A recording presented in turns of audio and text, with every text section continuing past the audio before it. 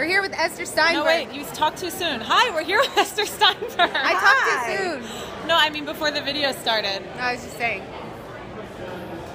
You um, were very funny on stage. Thank you. I'm here to talk about my period. And to anyone who's like, hey, why don't you just calm down with those period jokes? I'm like, it's a quarter of my life.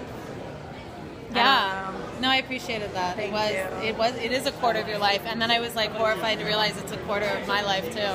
Yeah, it takes up a lot of life, so I'm gonna talk about it. Plus, everyone's like, you know, I got on stage before any of the audience got there, and I fucked the mics, the stool for like an hour to feel like, what would it be like to be a male comic? So I got that out of my system. I just, I fucked the stool for a long. She ass can now empathize. No, but you don't want to be a male comic, right? Yeah, I mean, fucking the stool is not like easy. It's uh, it takes a lot of, takes a lot out of you. You're like discipline. Takes yeah, discipline. exactly.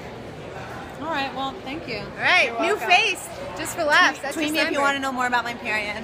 Yeah, Ester Steinberg. It's a monthly.